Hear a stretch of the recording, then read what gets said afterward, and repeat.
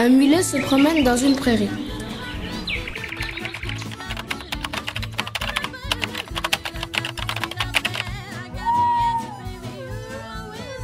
Que faire? Faut que je trouve un truc. Il se roule par terre. J'ai une épine dans le sabot. Enlève-la moi avant que je ne meure.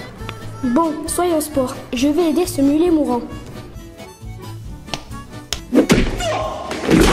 La prochaine fois, il faudra que je joue le carnivore au lieu du médecin.